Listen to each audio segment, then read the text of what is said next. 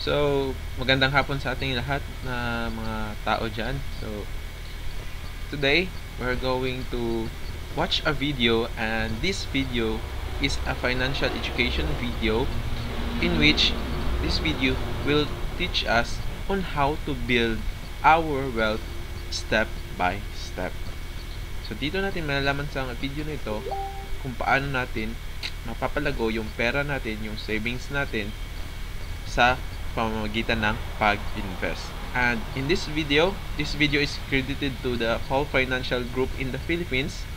So Call Financial Group in the Philippines is one of the brokerage here in the Philippines that where you can uh, open an account for only 1k then you, you will be able now to trade to their platform use their platform to buy stocks that are listed here in the Philippine Stock exchange. So ito, titingnan natin yung video niya. Tuturuan nila tayo dito kung paano natin mapapalago yung pera natin at tuturuan din tayo kung paano ang pag i-invest sa gamit ang ating pera. So, tingnan natin dito sa video niya.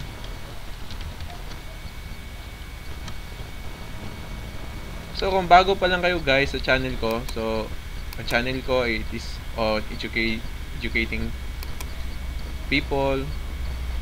Na gumagawa ko ng video para ma-educate natin yung ibang tao. So kung bago lang kayo ang channel ko ay Dong YT TV so you can subscribe to my channel. Makikita dito may mga videos all about education So, yun guys, kung bago pa lang kayo, please subscribe and share my videos kung may matutunan kayo. So, proceed na tayo doon sa video na titingnan natin. So, ito yung video na yun guys. So, I, so I've been watching this video because I know that I Good can learn morning something. everyone and welcome to COL's Basic Investing webinar titled Getting Started with Your Investing Journey. I am Lorraine Reyes and I will be your host for today's session. Again, thank you very much because you took the time na maka-join kayo dito sa aming learning session for today. We will be having poll questions to help us create a background for our discussions. So let's run the first poll question. Okay, the first question is, what do you want to invest in? Number one, I want to buy stocks. Number two, I want to buy mutual funds or equity index funds. Number three, I want to buy both. Or number four, I don't know what to invest in. All you have to do is to select one answer and then click the submit button. Okay, so I guess most of our participants have already um, placed their um, answers. So let's share the results with everyone. Okay, so it is good to note that 43% of you would like to buy both stocks and mutual funds, while the remaining 30% do not know yet, um, 36% do not know yet what to invest in. So hopefully, right after po this presentation, mas ma malaman nyo na kung ano yung best investment para sa inyo. Thank you very much for participating. Now I know that you are excited at huwag na natin patagalin pa. Let us introduce our resource speaker for today. So our resource speaker is a certified securities, securities representative and a certified investment solicitor. She has been with COL for nine years under the sales team, and currently, she is the manager of the Investor Center in Makati. Let us all welcome Ms. Mai Lubato. Hello, good morning. Thank you so much, Lorraine. Thank you everyone for waking up early today. Yung mga iba baka hindi pa naliligo, pero okay lang yan kasi since you invested your time this morning, it's actually your way or your the first step for you to become rich. And my name is Mai and I will join you on this road trip as you get started in your with your investing journey. So let me introduce CUL. CUL Financial is the largest, the leading and the largest, uh, the fastest growing online stock brokerage in the Philippines. We are 20 years, therefore adulting na kami. That's why dahil sa 20 years na yun, we're able to uh, build 300, more than 380,000 clients and we are managing 64 billion pesos in customer assets, making us number one in this industry. One plus point trend with COL is that we are the first and the only online stock brokerage listed in the Philippine Stock Exchange. So therefore, you can also buy and invest in COL. And this is a perfect time why because in uh, in our COL online platform, you can also buy stocks and mutual funds together. O, di ba? Hindi mo na kailangan hiwala-hiwalayin. Isang platform na lang, you're able to buy both stocks and mutual funds, making us a one-stop shop for your investing needs. You are here and you are actually attending this seminar for specific reasons. Pero I know, meron lang tayong one main reason bakit gusto natin matutunan to lahat. Kasi gusto natin yumaman. Tama ba? And our chairman and founder believes that every Filipino deserves to be rich. In short, sana all, di ba? Sana all talaga ay mag-invest na today para lahat tayo yumaman na. Pero ano ba ibig sabihin ng pagiging mayaman or ng pagiging rich? We can actually use the term financially secured kasi parang pag financially secured ka na, ibig sabihin you're not living from paycheck to paycheck and you are actually able to buy all your needs and all your wants without worrying na maubos yung pera mo. Tama ba? Okay. And let me share with you three types of people in terms of my uh, managing their finances. Okay. May tanong ako sa inyo ha. Okay. First, uh, first type of person is the spender. Ang tanong, ang um, itong spender na to actually, sige, explain ko muna. Spender na to, ito yung kakatapos lang ng 99. Nabangan na niya yung 10-10. Kasi meron siyang naisip, hindi ko nabili doon, bibilin ko sa 10-10. Pag nakalimutan mo na naman, sa 11-11, 12-12, 1-1, 2 tuloy-tuloy lang, at wala pa yung sweldo, ubus na ito po yung spender. Ayan. At ito yung swipe ng swipe sa credit card na hindi mo na alam kung magkano yung babayaran mo. Kasi wala na, hindi na natin nakikita dahil na-enjoy mo na lang yung mga perks na yon pero hindi mo pa nakikita na malaki na ang bill mo. Sa tingin mo ba, ang tanong, this spender, will this spender become financially secure? Unlikely. This second type of person is what we call the saver. Saver naman, siya yung maliling mag-ipon, magtabi ng pera, pero tinabi lang niya. Usually, pag saver ka, ang tinatabi mo yan, either sa savings, tapos, eventually, pag may nakaipon ka na, yun na yung magagamit mo uh, in terms of emergency or for your retirement. Sa tingin mo ba ang tanong, itong saver na to will become financially secured? Possible, di ba? Depende sa disiplina niya. And this third type of person is what we call the investor. Ito investor habang nag-online business or habang nagtatrabaho or work from home or kung saan man siya um, nagtatrabaho, uh, this investor sets aside money and invest it to make that money work for her or for him. So, kumbaga, habang nag-earn siya ng active income, meron siyang passive income, nilalagay niya, ini-invest niya yung pera niya. Sa tingin niyo ba, this person, this investor will become financially secure. Most likely, most probably, di? And today, we'll also teach you on how you can actually achieve financial security. So how do we start um, doing that one? Three steps to financial security. First, save. Second, invest. Third, reinvest. Okay, ito.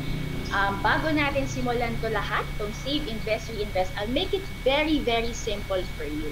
Sa mga plantito at plantita dyan, sa mga plant nanay at plant tatay, sa mga planty at mga aso niyong plantuta, imagine nyo, kumuha ka, bumili ka ng halaman. In-display mo, halaman lang siya. That's number one. You save it. You save the plant And then eventually, it will come to a point, mamatay din siya. Mauubusan ka din. Di ba? Second, ang invest sa isang plant, na, ewan ko, first time ko lang marinig to, or hindi ko, hindi ko talaga siya ginagamit na term. Pero ang invest, you get a cutting from that plant. What you do, you propagate. Kung ikaw ay plantita, alam mo ito, propagate. Propagate, you make, uh, you, um, di ba kailangan magka-roots muna for you to be able to plant it. You propagate that plant. Once it builds the roots, you plant it, you invest it so that it can create another plant. That's invest. Third, reinvest. Kasi yung invest, isang beses mo lang ginawa, nagkuha ka lang isang cutting. Ang reinvest, you get more cuttings, you propagate, you plant it, and then you become a jungle in your house. Ganon. so, ganon ang ibig sabihin ng save, invest, and reinvest. So, I'll discuss it, uh, I'll discuss each one us to be able to understand. Ayan, para mas maintindihan natin kung ba itong save, invest, reinvest. At makapagsimula na tayo at ma-achieve na natin ang financial security. Okay, first, we have to save. The best, the first and best way to actually becoming rich is to um, actually start saving. Ba? Alam niyo ba mga Pilipino, medyo nahihirapan dyan. Bakit? Kasi ba't mo isipin ng savings? Eh, ang dami nating bayarin, di ba? Pag adulting ka na, dami mong bills to pay. But why do we have to, to, to save? Because we have to pay ourselves first. We have to reward ourselves. Bakit? Kasi ikaw ang gumising dyan, ikaw ang nagtrabaho sa sweldo mo, ikaw ang nagbenta ng online, ng uh, sales mo, ng mga benta mo dun sa tindahan mo. So therefore, you have to give it back to yourself. Why? Because you worked hard for it.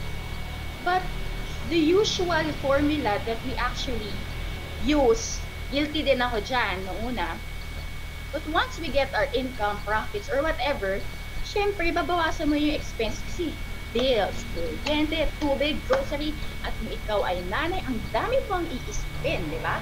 Marami ka pa papasweldohin kung meron kang mga kasama sa bahay. And then the rest, kung ano matira, yun ang savings. Pero ang tanong, nong, nong, nong, may natitira ba sa ating sweldo? Actually, wala. Nga nga, di ba? Kasi ubus na ubus. Actually, kulang pa. Di ba? Tama ba? Tama? Sana naririnig ko kayo ngayon. Pero for sure, you agree with me. Pero if you really want to start that discipline, once you get your income, you actually deduct your savings and then the rest, yung expenses. So for us to be able to achieve this, pwede natin gawin, buwasan natin yung expenses para umabot tayo dun sa puntong kaya na nating magtabi ng savings at kung natira for expenses, sakto na or kaya na nating uh, gamitin for our daily needs. And in terms of expenses, we also have to understand that we have to categorize our expenses to essentials and non-essentials, di ba? Para maintindihan natin, baka naman non-essentials lang yung ibang expenses natin baka naman pwede pa tayo magtipid, hindi lang natin nakikita. But the best formula that we can actually use is that once you get your income, you deduct your savings and you deduct your investments. So yung savings actually para emergency fund mo. Yung investments, yun yung i-invest mo para mas lumago yung pera mo. Mas lumaki siya na hindi mo naramdaman. Di ba? Tatabi mo lang and then the rest expenses. I know this is still hard for us, lalo na ngayon, it's pandemic. And this pandemic, you know what? I realized the value of emergency fund. Diba? Kailangan meron tayong emergency fund. So kung yun pa lang, medyo nahirapan tayo, we, what we can actually do is transition from one to the other and then to the last one. So one step at a time, one day at a time, one expense at a time. Diba? That's the first one, save. Second one, why invest? Diba? Bakit nga ba tayo mag invest One big reason why we need to invest is for us to be able to beat inflation. Ano ba itong inflation? Ang inflation, ang pagtaas ng presyo ng mga bilihin. O di ba? Kaya inflation, lumaki. Di ba? Hindi naman natin naramdaman na bumaba ang presyo. Di ba? So, lahat naman nagmamahalan na. Kayo na lang ni X ang hindi. Hindi, joke lang. Actually, may bagong definition ng inflation ngayon. Galing sa friend ko to ang, ang inflation daw ay ang paglaki ng iyong timbang dahil sa madalas na pagkain ngayong quarantine. O, pwede rin yon, di ba? Pwede rin yung inflation, di ba? But why are we talking about inflation? Because in this example, in 1997, I can remember grade 7 ako nito. The one piece chicken joy was actually worth 34 pesos. Currently today in 2020 it's actually 84 pesos. Na my gosh. Yung 50 pesos na nanggaling yon di ba? Malamang nagmahal lahat logistics materials. And guess what? When we reach 2040 the one piece chicken joy will be actually worth 184 pesos. 184 pesos na yan ay isang buong manok na yan. Lechon manok. Kung actually lalabas ka buong lechon manok na yan. Pero in 2040 It's just a piece of chicken joy. Imagine, in this example, chicken joy pa lang to, paano kaya ibang bilihin?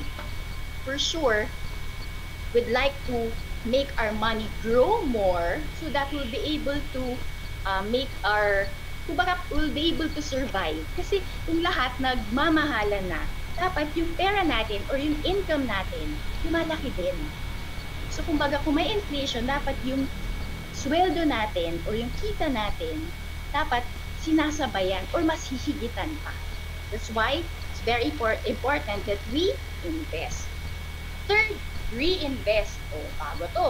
Kasi may invest na, pwede namang kalimutan mo na lang. Itong reinvest, Maganda to ah, kasi when you reinvest, you actually maximize the power of compounding. As you can see, this gray line, if you have 50,000 now, you invest that 50,000 into an investment that will earn 6% per annum. Tapos every time nagkaka-interest siya, you withdraw it, yun mo lang yung kapital na 50,000.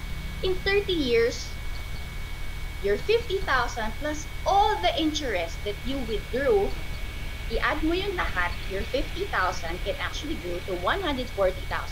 Not bad, diba? Not bad. At least it grew. But what if you invest all your interests on top of that 50,000? Kung makita niyo yung yellow line, this reinvesting line, your 50,000 in 30 years can actually grow to 287,000 pesos. 'Di ba, mas malaki siya doon sa pag kinuha mo yung interest, iniwan mo lang yung kapital. This is why we have to understand the power of compounding. Kasi compounding can actually help make your money grow not even double time. Mas madali pa. Kasi you keep on adding to your investment. Yan. Now, what's the best is investment to grow your money in the long term. Of course, we believe it's stocks. History has proven that investing in the stock market can actually outperform all investment vehicles. Now, when we say long term, ano ba yung long term? Two years ba yan? Actually, ang long term is at least five years. Pwede mo naman yan i-compare ang commitment. Ang long term commitment ba ay five months lang? Hindi, di ba? Dapat long term. So, when we talk about long term, years ang usapan. Kung 5 years nga, actually, maikli pa yan eh. We can actually extend it to 10 years if we have time. Maybe majority of you are young here. Well, 10 years is actually long-term already. Ayan. Now, let's talk about the stock market. Ano ba itong stocks na ito na naririnig natin? Stocks or shares are actually a piece of a company. Example, isang kumpanya, gusto niya um, would like to raise capital. Why? Because maybe for some reasons like they want to expand, they want to um, invest into another uh, venture. So, imbis na manghiram siya ng pera sa bangko, ang gagawin niya, that company will open a portion of its of its um, company to the public. Yung part na yon will divide it into shares these shares will be put into the market, the stock market, doon natin bibilin yung shares. Example, if a company has 10,000 shares and we will buy 1,000 shares, we actually own 10% of that company. Di? So once you buy shares of a company, once you buy stocks of a company, you actually become a shareholder. You become a stockholder, you become a business owner, you become a co-owner. Di ba? So, ibig sabihin, kasosyo ka ng kumpanya. So, how does the stock market work? Yan. See, once you buy shares, paano ka nga ba bibili ng shares? So, before, um, stock market, traditional yan. May yung tatawag. Nala ko pa yan eh, yung sa mga movies, yung nagsisigawan, di ba? Magbibid, kaya ang bibid. As, ngayon, stable na. Kasi thanks to technology, everything is online. Ayan. So all companies who will list them, their companies publicly, yung shares na yon, lalagay nila sa stock market. It's a palengke. A palengke wherein dun mo bibilihin ng mga shares of that company. Sa palengke na yon, that's what we call the stock market here in the Philippines is what we call the Philippine Stock Exchange. Sa palengke na yon, dun tayo bibili. Pero hindi ka bibili directly. You have to have a broker. That broker will help you link um, yourself for you to be able to buy and sell shares of those public um, stocks or shares in that stock exchange. You get me? Ganon. So, para ikaw makabili ka or makabenta ka, kailangan meron kang broker. Ganon yung stock market. And in the stock market, it's actually a place where you can um, partner with big and successful publicly listed companies by buying shares to participate in this growth. But take note, not all companies are big, successful, and can actually grow.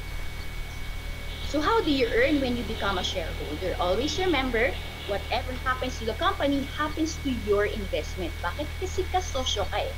So how do you earn? You earn in two ways. First, through dividends. Second, through price appreciation. So let's talk about price appreciation. Ano ba tong price appreciation? It's the increase in the value of a company, meaning lumago siya, lumami, lumaki ang value niya. Why? Because lumaki ang business. Nagkaroon ng profits, meron siyang joint ventures, may partners, different reasons. Okay? So example, let's talk about Wilcon. Wilcon became public through an initial public offering or what we call IPO in 2017. Yung presyo niya that time was 5.05 per share. So, yan yung presyo niya nung first time niyang lumabas sa mundo. Ayan, parang first time niya maging available sa market. Currently, 2020, Wilcon is now worth 15.80 per share. I have a question. Kumita na ba tayo? Yes. Pero itong kita na to, makukuha mo yan pag binenta mo na at 15.8. Okay? Yon. So that's how you see, uh, that's how you understand price appreciation. Take note, not all companies can actually appreciate as mentioned. Yan. Kaya kailangan mo rin tayo pumili. Mamaya, we'll discuss it. Second, through dividends. Ano ba tong dividends? Actually, narinig natin to pag nagbe-business eh. Dividends are actually profits distributed to shareholders. Kasi dahil ikaw ay kasosyo ko, therefore, dapat meron ka ring cut sa ating profit. That's what we call dividends, to make it really simple.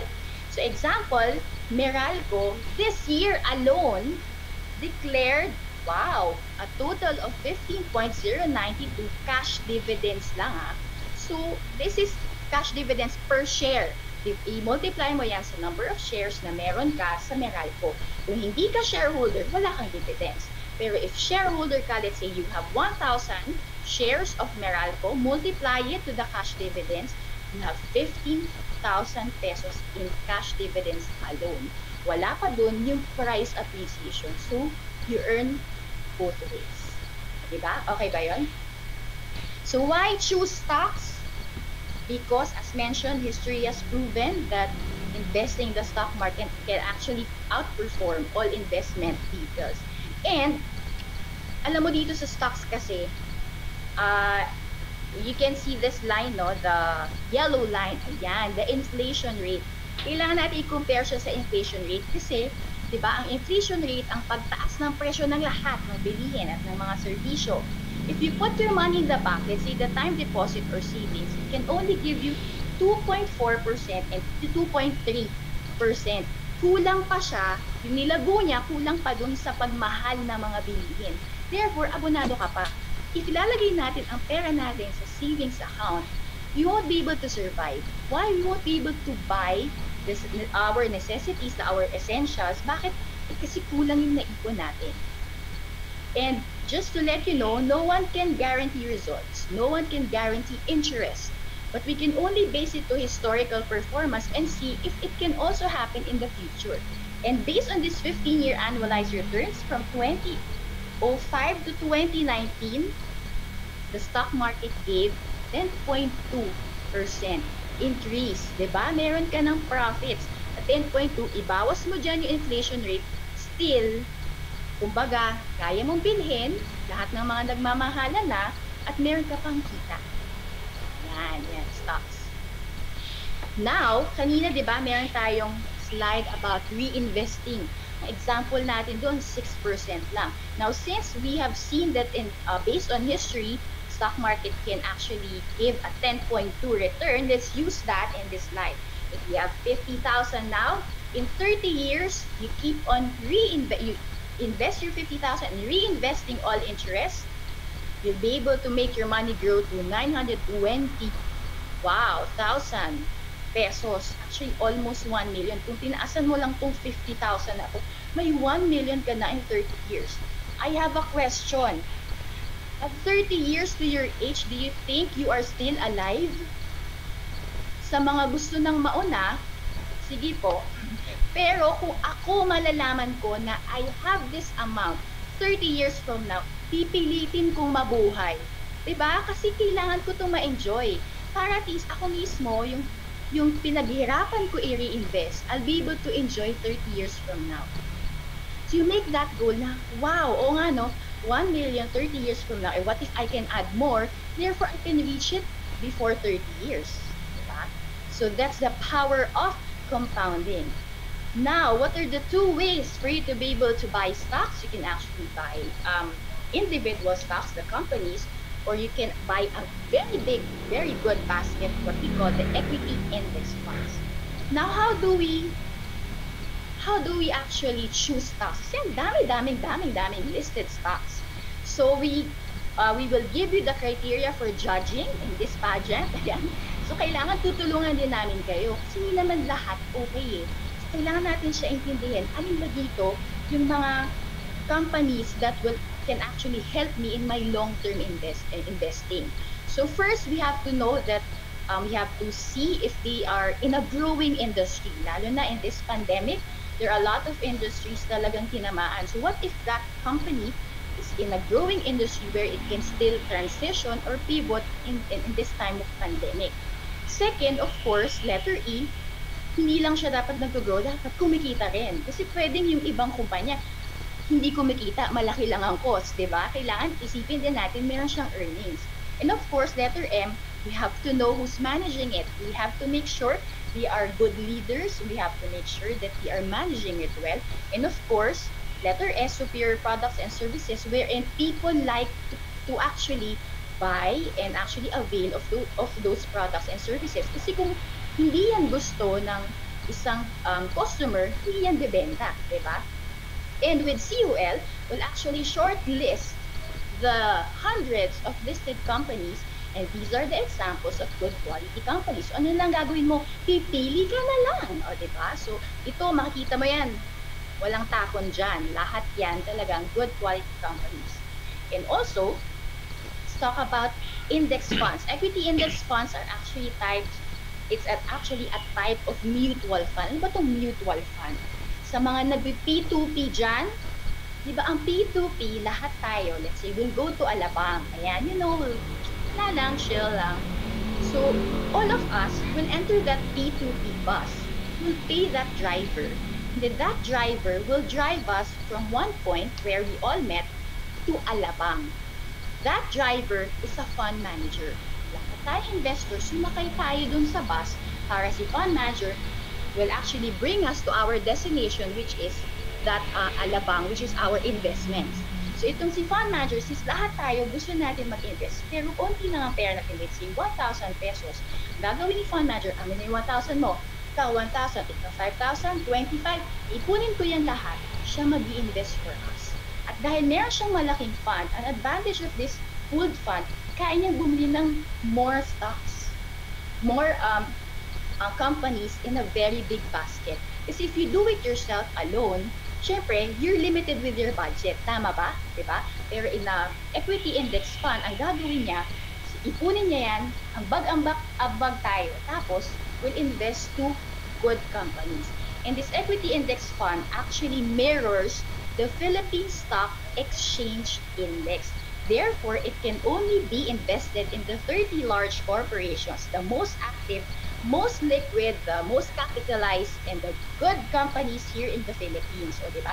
Wala ka nang iisipin kasi it's a basket already ng mga pinakamagagandang kumpanya sa Pilipinas. So, instead of you studying each one, might as well, you can consider a basket of um, funds wherein you get the chance to um, enjoy the profits of every company. Diba? So that's the equity index fund. And based on history, ayan, this is the equity index funds that mirrors the Philippine Stock Exchange Index uh, in the long-term growth. Ayan, is uh, based on 10-year returns from 2009 to 2019. Ayan, yung PSEI natin, yung index natin, um, actually grew 156% from 2009 to 2019. That's the blue line, this one, oh. Yan. Pero ang equity index fund, itong nag-handle nito, itong fund na to, hinigitan pa niya, naging 169%. Bakit?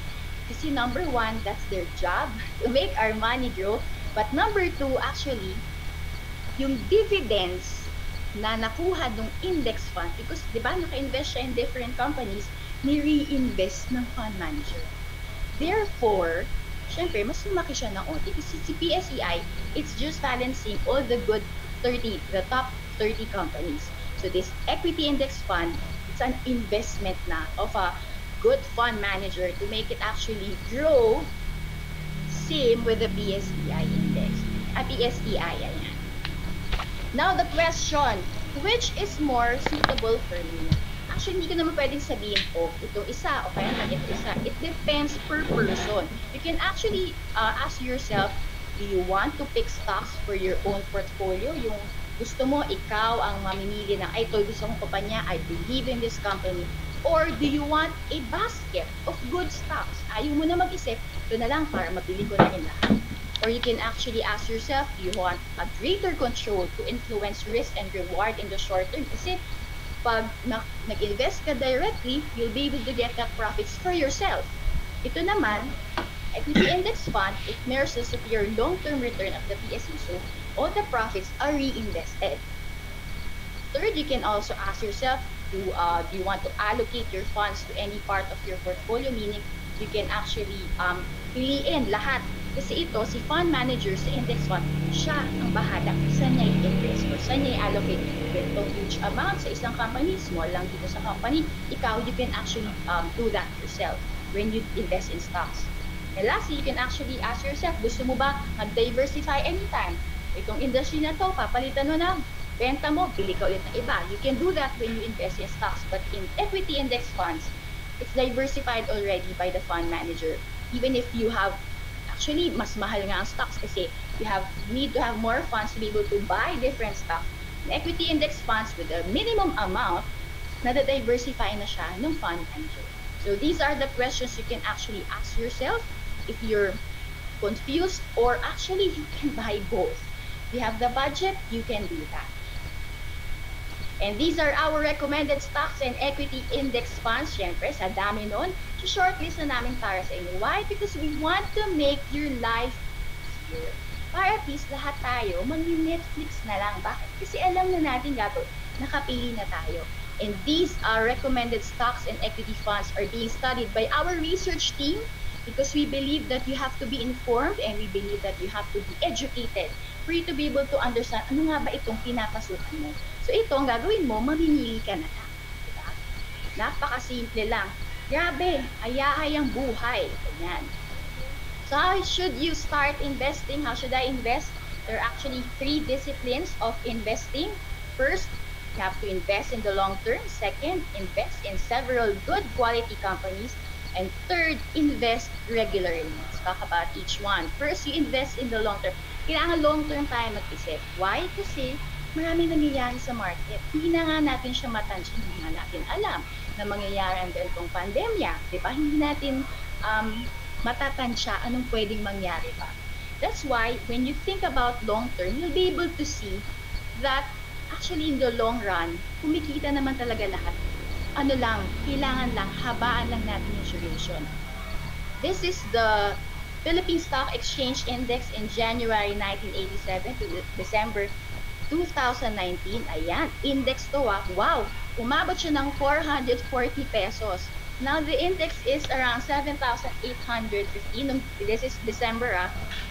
So, kung nandun ka sa gitna, iliklian mo lang, let's say 5 years, naku, mararamdaman mo yung pag yung movement, yung volatility. If you have 1 peso in 1987, actually kung habaan mo siya hanggang 2019, your 1 peso can actually grow to 17.8 pesos. Wow, galing. But if you have invested 10,000, it will become 178,000 pesos. But if you invested 1 million, 17.8 million na siya ngayon. Alam ko, marami sa inyo hindi pa nabubuhay noong 1987 don't worry. This is just a vivid example. If you're in your 20s or early 30s,